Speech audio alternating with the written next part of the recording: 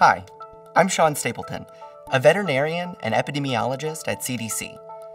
We're investigating several salmonella outbreaks linked to backyard poultry. Chickens, ducks, and other poultry can carry salmonella germs while looking healthy and clean.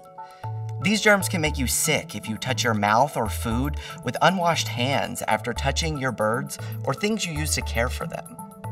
I'm here to show you some steps you can take to stay healthy around your flock. Wash your hands with soap and water after touching your birds or anything in the area where they live and roam. Keep a bottle of hand sanitizer at your coop, like this one, to use until you can get to a sink. Have a dedicated outdoor coop for your flock and keep their supplies there. It's a good idea to set aside a pair of shoes, like these, to wear only when caring for your flock, and keep them outside. Collect eggs often, don't use cracked ones, and store eggs in your refrigerator. You can rub dirt off of eggs with fine sandpaper, a brush, or a cloth.